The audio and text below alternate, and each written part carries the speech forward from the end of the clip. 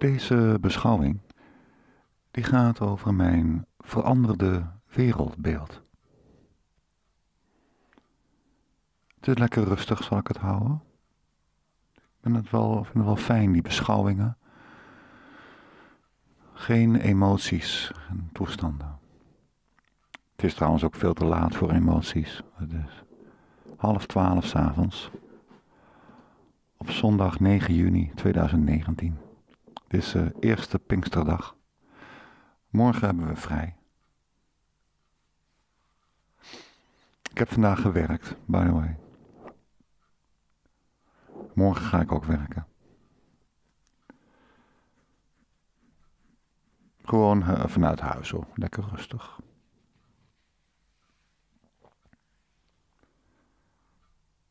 En mijn wereldbeeld is grondig veranderd. Dat is begonnen in 2005. En voor die tijd was ik. Uh, uh, ja, was ik heel gelukkig. Ik ben nu ook gelukkig, dat is verder geen punt. Maar, maar toen was ik gelukkig in een. Ja, een hele begrijpelijke, best leuke wereld. En dat laatste is, dat is niet meer.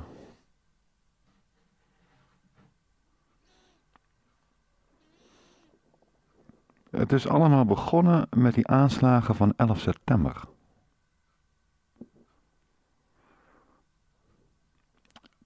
Die, ja, die nam ik, die nam ik aan voor wat er verteld werd op tv zo. Ik kan me dat nog goed herinneren. Het was een dinsdag dat ik mijn dochter van het kinderdagverblijf haalde. Mijn dochter was toen uh, één.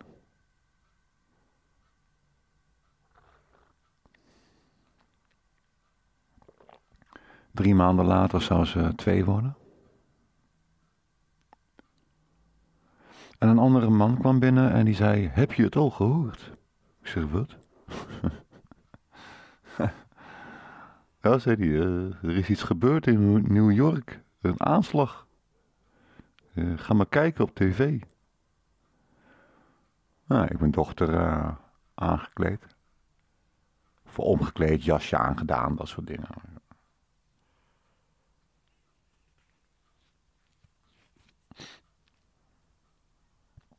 En dan kwam ik thuis en deed de tv aan en inderdaad zeg. Amerika under attack. Denk, krijgen we nou? Ik schrok me echt het leplazerus. En daarna kreeg je van die anthrax aanvallen. Anthrax is zo'n heel uh, verschrikkelijk besmettelijk, uh, wat is het ook weer? Virus of zo? Een dodelijk jongen.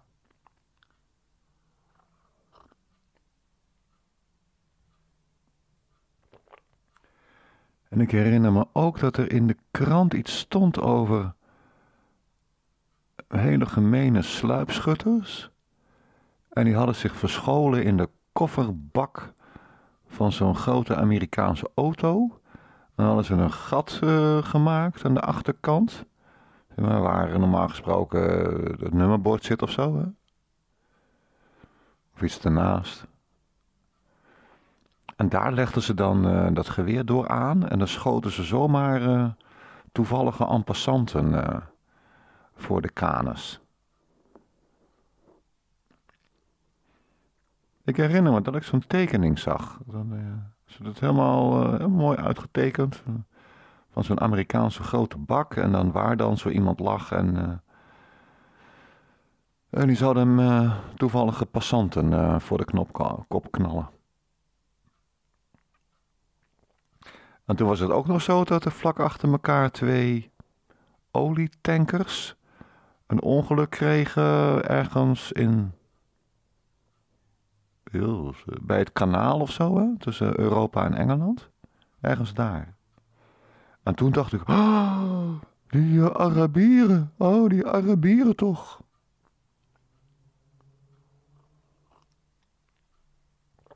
En toen Amerika uh, na die aanslagen van 2001, dat ze daarna Irak gingen binnenvallen, toen dacht ik, mooi zo. Geef ze maar van Jetje. Denken ze wel niet. Maar kortom, ik dacht zoals iedereen. En toen in 2005. Toen. Ja, het begon ermee dat ik van iemand een DVD kreeg.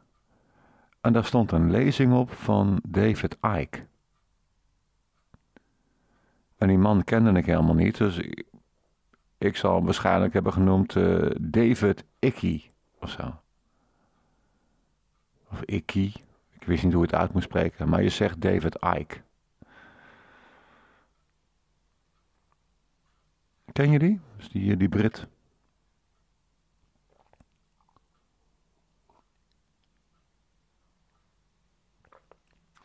Nou, dat begin vond ik uh, heel imponerend.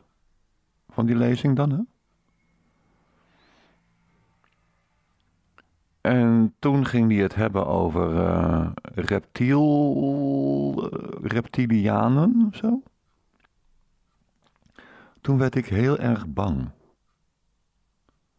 Toen heb ik die dvd uitgezet. Toen moest ik er even van bij komen. Wat een poesie was ik, zeg.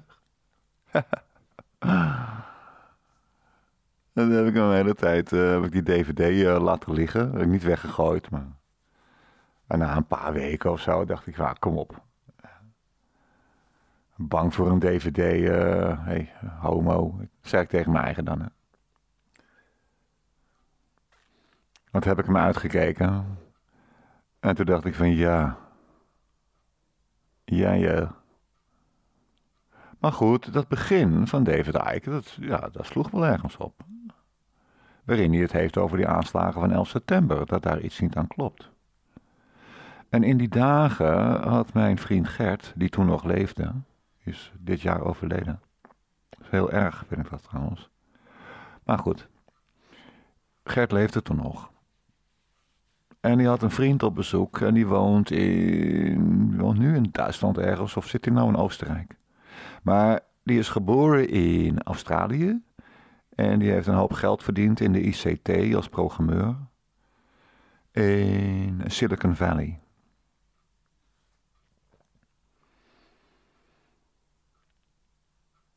Jay heet hij. Dat is een Facebook vriend van mij. Hij post wel eens leuke dingen nog steeds. Een aparte kerel, wel aardig.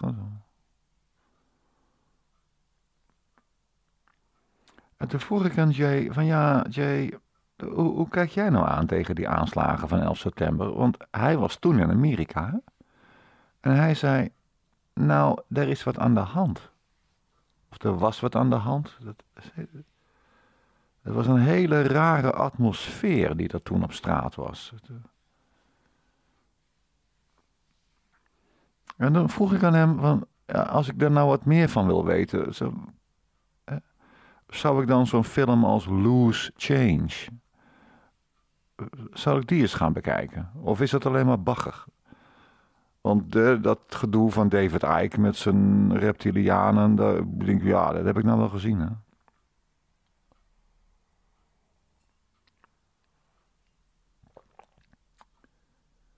Nee, zei uh, Jay. Loose Change is wel een goed idee. Een vrij accurate documentaire film. Ja. Nou, toen heb ik die uh, Loose Change uitgekeken. Heb ik denk ik in totaal al twee of drie keer gezien. Zo, is het ook weer die aan... En twee jongens of zo, die hebben dat gemaakt. Loose Change van blablabla. Oh ja, uh, Avery heet die ene. Dan Avery of zo. Avery. Met een Y op het einde.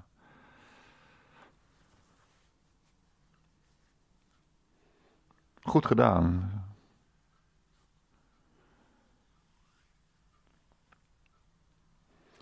En ja, dan, dan snap je hem wel dat dat hele officiële verhaal, dat daar geen donder van klopt.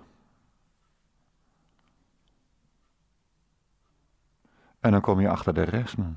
Oh, oh, oh, oh, oh. En ik weet nog dat ik ergens in. En dan hebben we het over acht jaar later of zo, hè? Zeven jaar later, dus 2012, 2000, ja, zoiets. Dat ik in het café zat, een café De Wacht. En ik was aan het kletsen en, ik zat me dus op te winden over uh, wat die lui al niet zo'n beetje uitspoken.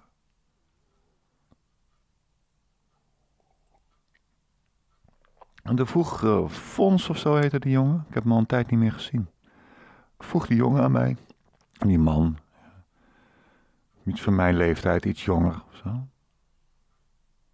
En die vroeg aan mij, ja, maar wie zijn ze? En daar kon ik helemaal geen goed antwoord op geven. Tegenwoordig wel. Tegenwoordig zou ik zeggen Babylon.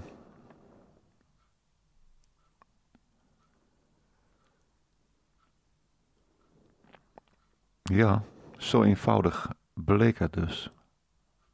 Maar dat weet ik pas sinds kort hoor. Of wel sinds kort. Sinds een paar jaar is me dat duidelijk. Misschien sinds 2016 of zo. Is het me echt duidelijk.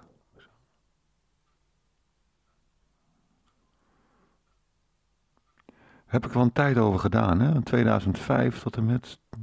Iets van. Misschien wel acht jaar, negen jaar of zo. Misschien wel bijna tien jaar. Tien jaar lang over gedaan voordat bij mij het kwartje viel. Ik denk, oh, zit het zo? Ja, ja.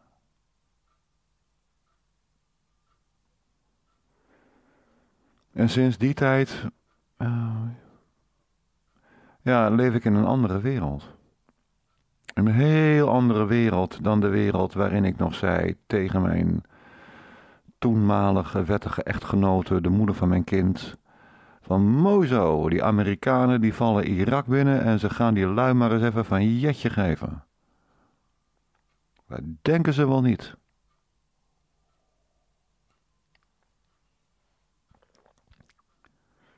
Ik vond het wel een mooi gezicht hoor, die kruisraketten, die Tomahawk missiles en zo. Huppakee, stomme Irakezen. Tom was ik, hè?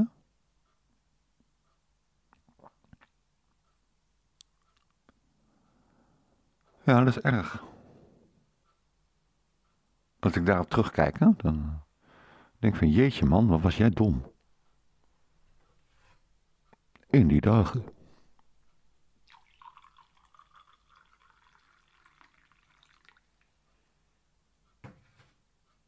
Maar er zijn meer van die, uh, noem het maar heilige huisjes. Zo'n heilig huisje van mij was dat, nou, de samenleving is best oké. Je hebt wel een beetje dit en je hebt een beetje dat. Maar is er een koe niet zo bont, dan zit er wel een vlekje aan.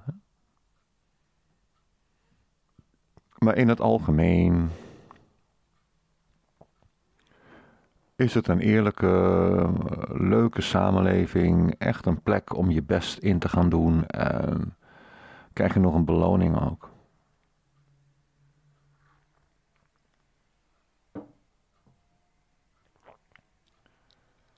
Nou, dat is voor mij voorbij.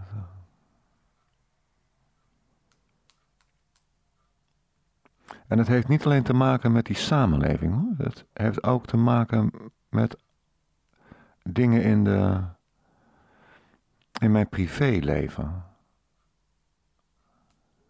Dat ik dacht van, oh, zit het zo? Ja, ja. Daar ben ik ook achter gekomen. Ik was getrouwd, hè? En de moeder van mijn kind, die, die ging vreemd. En die was enorm dominant. Echt verschrikkelijk. Alles, alles zette ze naar haar hand.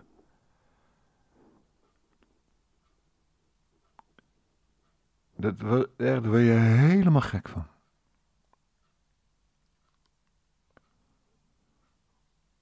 Als ik iets voorstelde in het gezin, en zij rachten er gewoon keihard overheen. Hè?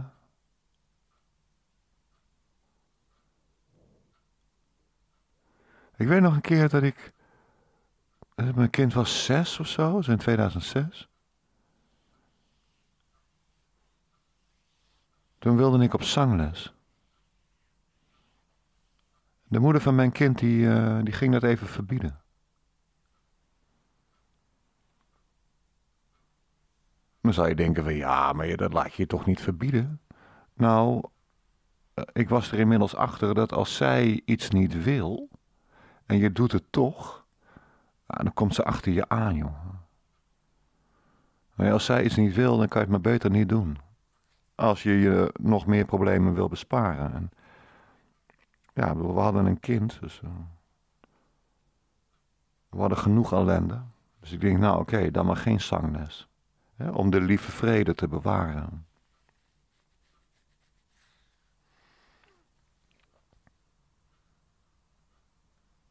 En zij ging ook nog vreemd. Zo ik net al. Terwijl we een kind hadden. En waar ik dus achter kwam, is dat de familie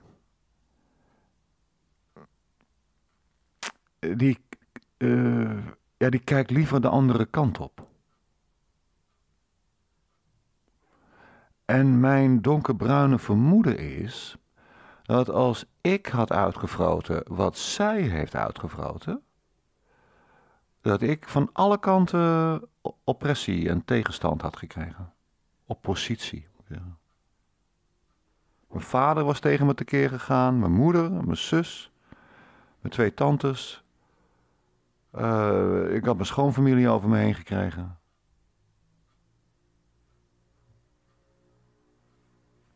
Van alle kanten had ik het voor mijn kanus gekregen. Maar nu is het een vrouw die dat doet. En dan kijkt iedereen de andere kant op.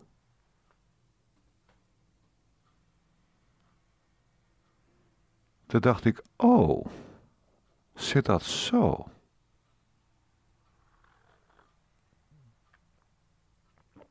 En dat dat zo is, hè, dat is ook een heel lang proces geweest. Voordat ik erachter kwam. Dat het zo is. Er gelden in deze samenleving twee maten. Eentje voor mannen en eentje voor vrouwen. Je kan zeggen, wij leven in een matriarchaat. Een samenleving waarin vrouwen de baas zijn waarin vrouwen de heilige koeien zijn. Waar iedereen met een boogje omheen loopt. Van het is een vrouw, dus laat haar maar haar gang gaan. Ze zal er heus iets goeds mee bedoelen. En dat ook mijn zus en mijn moeder er zo over denken.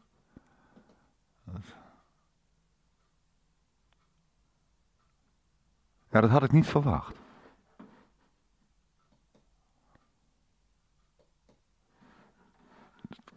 Ja, dat is niet iets waar ik makkelijk overheen stap.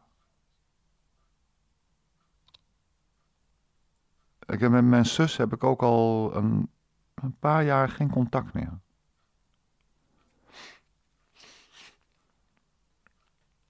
Ik stel het niet op prijs om anders gemeten te worden, om zeg maar als een, als een untermensch uh, gemeten te worden.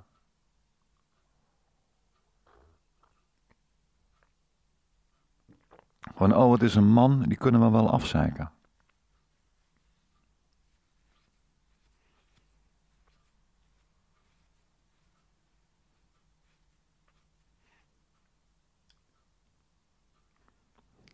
En van mijn eigen moeder, van mijn moeder dus. Uh, idem dito. Uh, kritiek, jongen.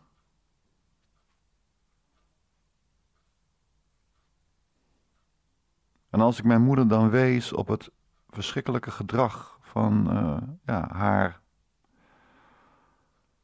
schoondochter. Ja, daar zei ze niks van.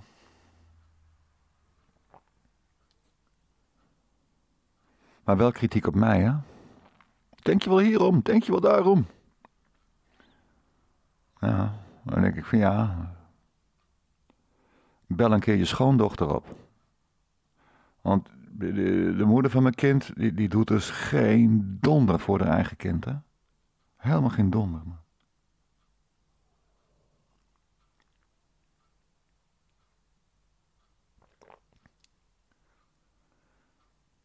Nou, er is een, uh, kind die kwam naar me toe dat ze, ze had iets met haar ogen en ze had last van uh, nog iets met haar lichaam. En de ogen was een kwestie van een nieuwe bril.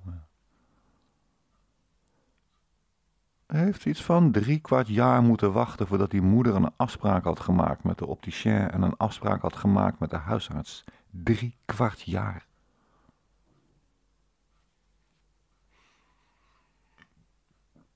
En mijn moeder uh, gezegd van, mam, bel eens even met je schoondochter. Want ik heb helemaal, als ik die opbel, ik, ik krijg gelijk... Uh, want ik ben een man, weet je, dus ik ben toch een stuk tuig, een untermens en daar luister je niet naar. Maar mijn moeder is een vrouw. Ja. Maar spreek je schoondochter eens even erop aan, man. Dat is toch jouw klein kind? Dat nou? Denk je dat mijn moeder iets deed? Nee, Nee, is mij wel duidelijk geworden.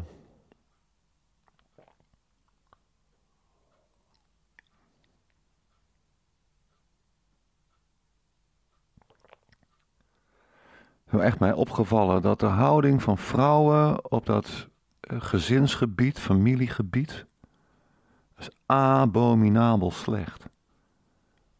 Het is gewoon laag bij de grond. In mijn geval dan, hè?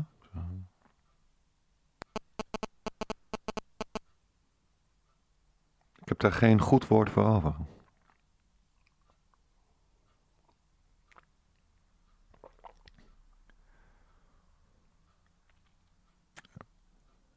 Kan ook heel rustig zeggen, al die vrouwen moeten niet zeuren als zij eenzaam belanden in een bejaardentehuis en er komen geen kinderen op bezoek en ja, ze kwijnen weg. En schijten in een luier waar de plas nog in zit van vanmorgen. Ze hebben het er zelf naar gemaakt. Ze wilden graag een samenleving waarin gezinnen niet meer bestaan en familieverbanden niet meer tellen. Ja. ja, dan moet je niet gek staan te kijken dat dan ook uh, de oude dag een eenzame dag is.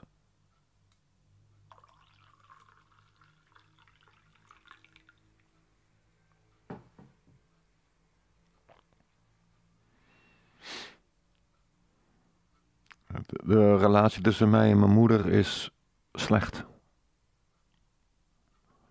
Ik zou dat nog een keer uit moeten spreken met haar. Ik heb nu al geen zin in de grote mond die ik dan ga krijgen.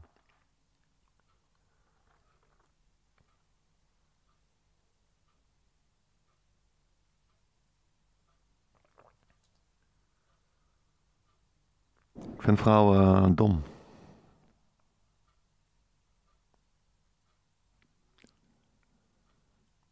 Mijn moeder zag ik ook. Eh, was de moeder van mijn kind was jaren geweest. Dus niet zo heel lang geleden. Een maand terug of zo. Nee, korter geleden. Twee weken terug, drie weken terug. En dan mijn moeder zo, oh, van harte gefeliciteerd, la En ik denk dan, braak. En je gaat heel lief en aardig doen tegen degene die jouw kleinkind heeft verwaarloosd en mishandeld. Ik vind het walgelijk.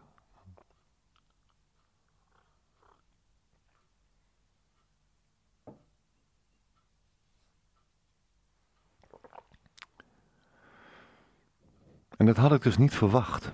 Ik had dus ook niet verwacht dat een overheid zo zou liegen over zoiets serieus als die aanslagen van 11 september. En ik had ook niet verwacht dat mijn familie, mijn eigen moeder en mijn eigen zus, dat ze zo zouden ja, kotsen zo, op het gezin. Wat ik met pijn en moeite bij elkaar probeerde te houden. Het interesseerde hen helemaal niks. Maar ze wisten dat mijn kind verwaarloosd en mishandeld werd. Ze wisten het. En niets, niets, niets doen.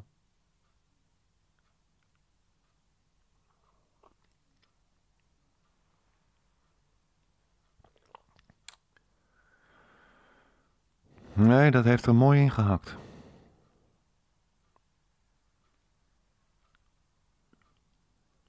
Dus in Amerika zo'n beweging en die heet MGTOW.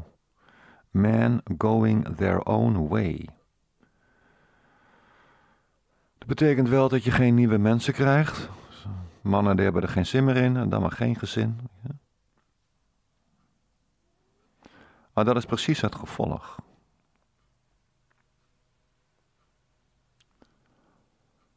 Mannen zien te veel voorbeelden van andere mannen die helen hebben en houden, steken in een huwelijk en een gezin. En ze worden uitgekotst na een paar jaar.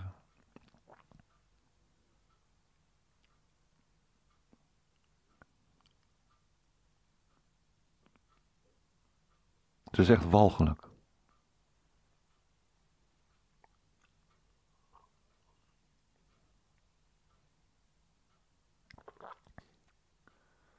Dat is onze samenleving.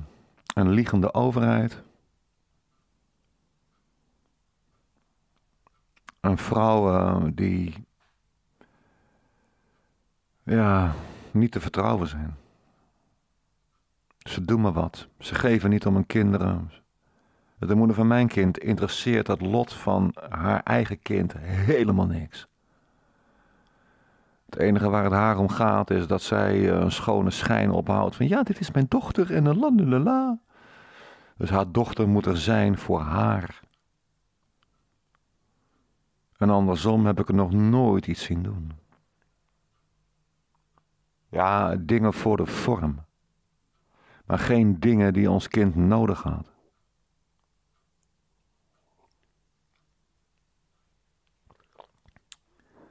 Lekker eten koken als er ook visite komt. Je kent het wel.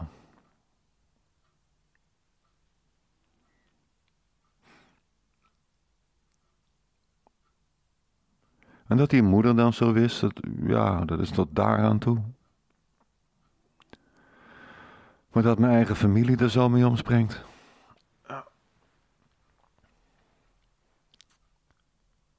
Erg vind ik dat.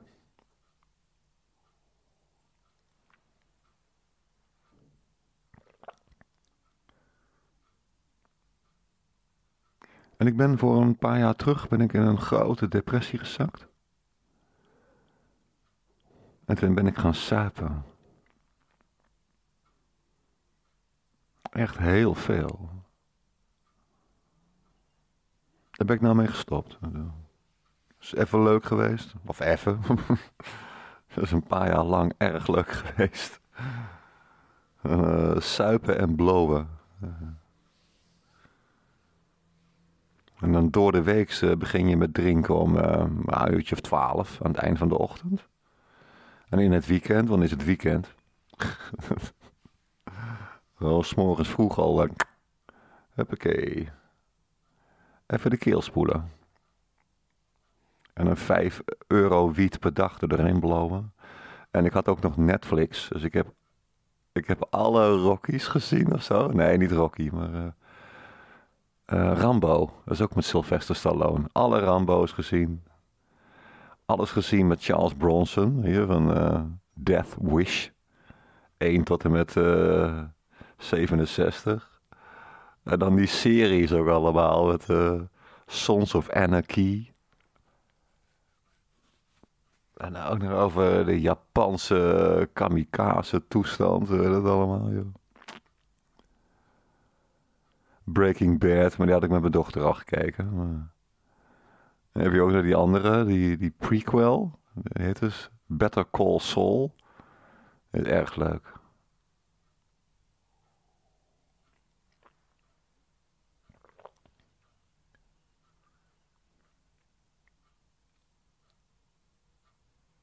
Jeetje, wat heb ik een hoop stomme films gezien. Oh ja, Dark Mirror heb ik ook nog gekeken. We hebben echt al die series. Arne Daal. En... Oh, oh, oh, oh, oh.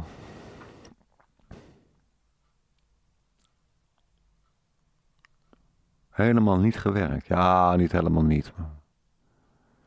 Sommige klanten die zeurden om een factuur. En denk ik, nou oké, dan maak ik wel een factuur voor je. Zelfs daar had ik geen zin in. Ja, uh, uh. Mijn bedrijf heb ik eraan gegeven nou. Dus, uh, is een uh, goede beslissing geweest.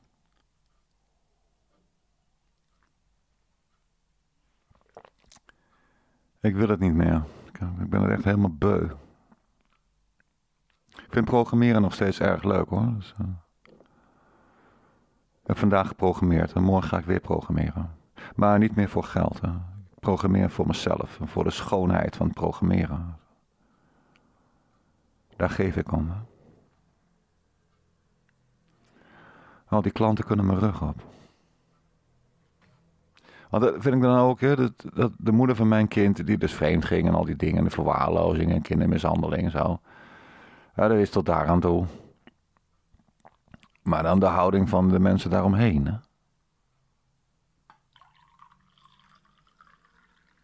Maar zoiets heb je dus ook bij die aanslagen van 11 september.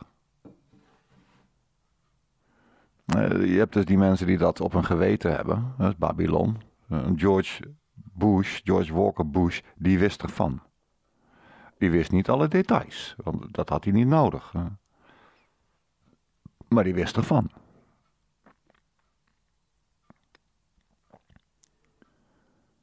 Kijk, op de dag van die aanslagen eh, zat hij in een klas in Florida. En dat was zeg maar wat wij zouden noemen eerste, tweede groep eh, primair onderwijs. Daar zat hij als president van een land van 200, 300 miljoen inwoners, eh, wezende de grootste militaire macht ter wereld, zat hij dus in een schooltje in Florida. Met twintig van die kleine kinderen te controleren of er goed werd voorgelezen door de juf. En daar klopt iets niet, hè? Lijkt mij. Als ik president van Amerika was geweest en ik had dat zien staan op mijn agenda, dan had ik tegen mijn eh, PR-officier gezegd van, hé, hey, wat is dit? Ik ga wat doen? Kijken of een schooljuf goed voorleest? Uit een boekje over een geit?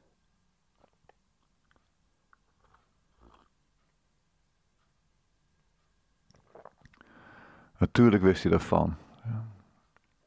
En toen hij om vijf over negen s morgens, dat hij in, de klas, in het klaslokaal zat, dan kwam Andrew Carr.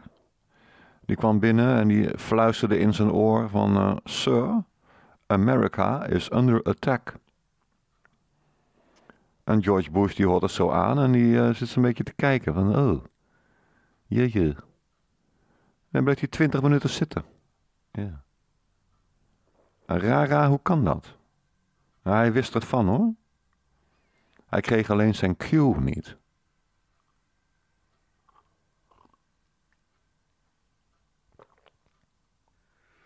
En dan had hij daar twintig minuten gezeten en toen dacht hij van ja, nou ja, ik kan nog langer blijven zitten, maar ik zal nou maar eens een keer teruggaan. er is iets fout gegaan in de planning van die dag. Dat is mijn idee. Dat is, uh... Maar George W. Bush wist ervan. Man. Tuurlijk. Die wist van zoiets.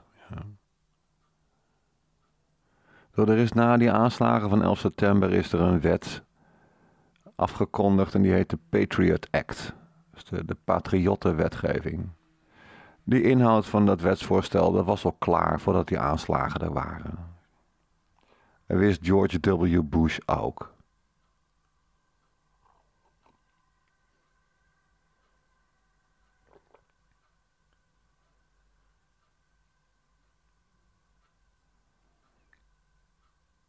En dan bespreek je dat met mensen hier in je omgeving. En iedereen zo oh, ja, nou, ik vind het maar uh, vaag en, ja, dus, en niemand interesseert het iets.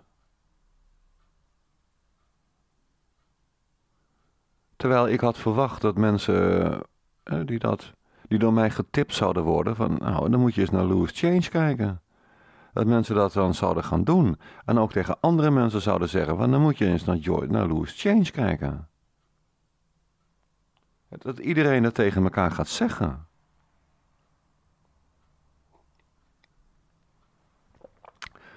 Maar dat doen mensen helemaal niet. Mensen denken van, oh ja, ja, oh ja.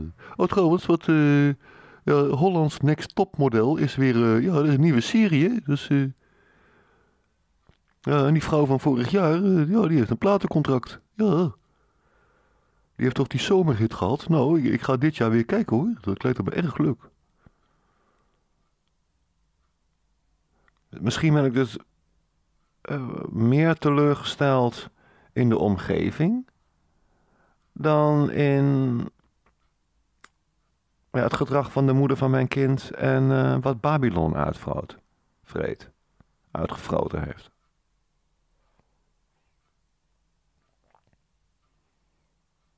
Die, eh, die, die langmoedigheid. Ja, nou ja, dus, oh, wat kan je eraan doen, hè? Ja. Eigenlijk niks, hè? Nee, dus, uh, ja, laat maar. Ik uh, flikker op.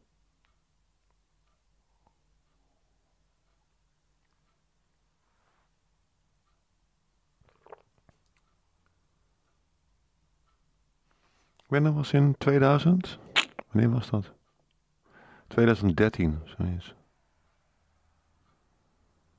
2013, 2014. Mijn dochter die wilde dat ik haar zou overhoren voor het uh, tentamen geschiedenis wat ze had. En normaal gesproken deed ik dat niet. Dat vroeg ze wel vaker, omdat die moeder die altijd van... Oh, heb je tentamen? Nou, dan ga ik overhoren. Ja, dan gaan we oefenen met z'n tweeën. Ja, dat is precies wat je niet moet doen als ouder. Hè?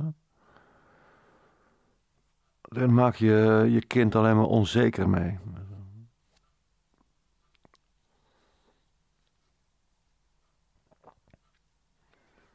Maar ze zat een beetje in de knel en ding dat. En ik, nou, voor deze ene keer dan.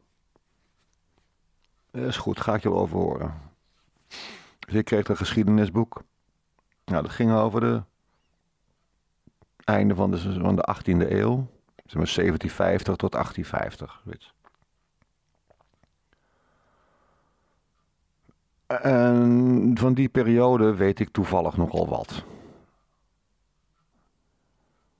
1776 is de Amerikaanse grondwet eh, opgesteld en getekend.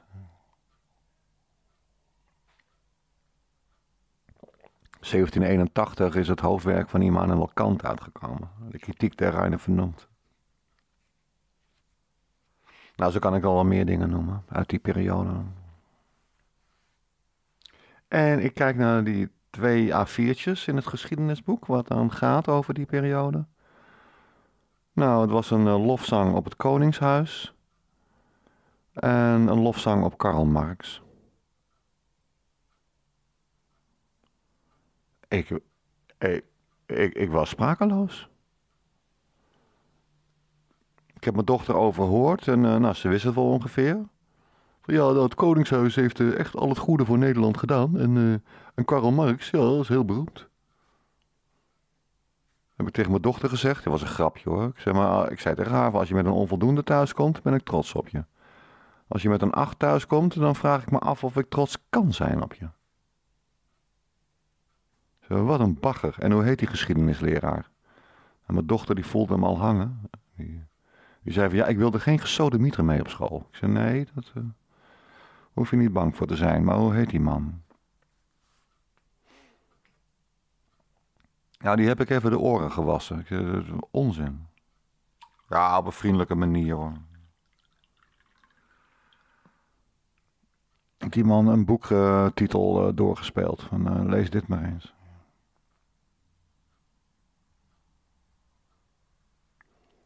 Je nu wil weten wat een. Uh, als je een goed boek wil, wil lezen, moet je Rulers of Evil lezen. Dat is wel Engels. Misschien dat ik het moet vertalen op zijn Nederlands. Dat wordt nog een heel kwei. Want ik, die man die dat geschreven heeft, dat is Frederik Tupper Sorcy. Ja, niets ten nadele van die man. Hij is overleden in 2006 of zo. Maar dat taalgebruik, dat... Uh, kreun. Niet echt mijn ding. Maar ik zou een samenvatting kunnen schrijven. Maar ik weet niet wie in Nederland erop zit te wachten.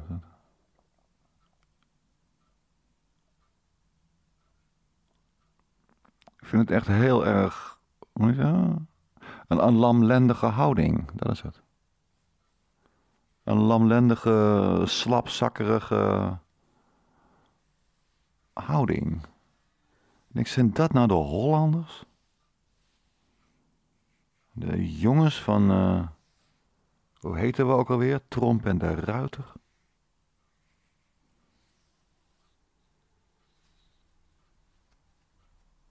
Is dat alles wat wij te bieden hebben?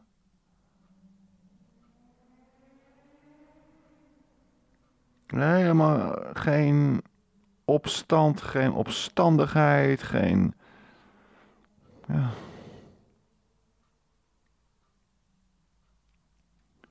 Zo'n orde van de dag verhaal. Ja, ja, wat kan je er gaan doen?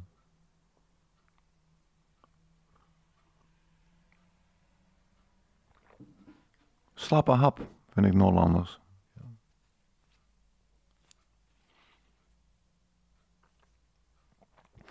Dan kan je tegen inbrengen dat uh, in Amerika er ook een stelletje sukkels zitten.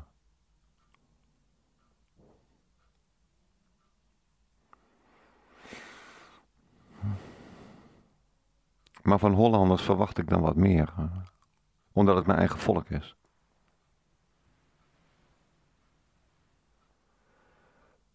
Voel me behoorlijk uh, ja, in de steek gelaten eigenlijk. Ik jeetje zeg. Dat is ook een van de redenen waarom ik eigenlijk het liefst een uitkering wil. Een of ander slap baantje en dan bekijk ik het wel. Ik ga wel lekker door me programmeren. Ik maak nog wel leuke dingen hoor. Maak je geen zorgen.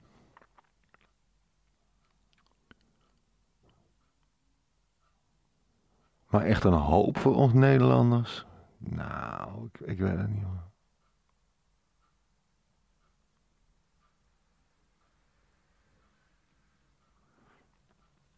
Het beseffen dat je geregeerd wordt door een stelletje leugenaars.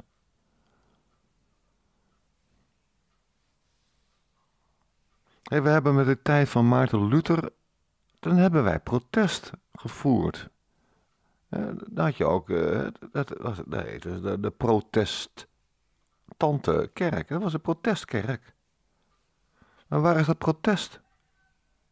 Dat heeft plaatsgemaakt voor een langmoedigheid. Ja, laten we er maar niet tegenin gaan, anders worden ze nog boos ook. Zoiets. Ik vind dat een foute mentaliteit. Eh, ons niet waardig.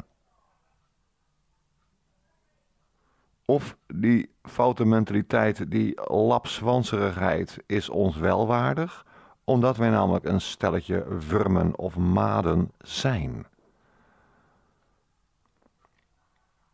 Maar dat wil ik nog niet geloven. Misschien over uh, drie maanden wel.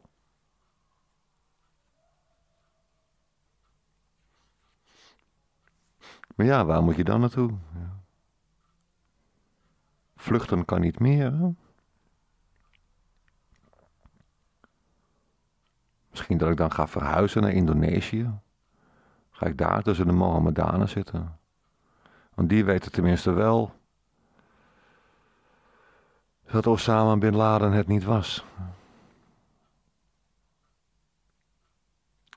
Misschien dat maar. Ik weet het niet.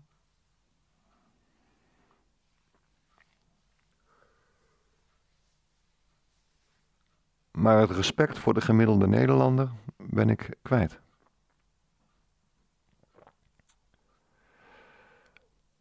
Het is jammer, het is jammer, het is jammer maar helaas. Mijn wereldbeeld is veranderd. En op zijn hamburgers zag ik tjus en dag lieverds.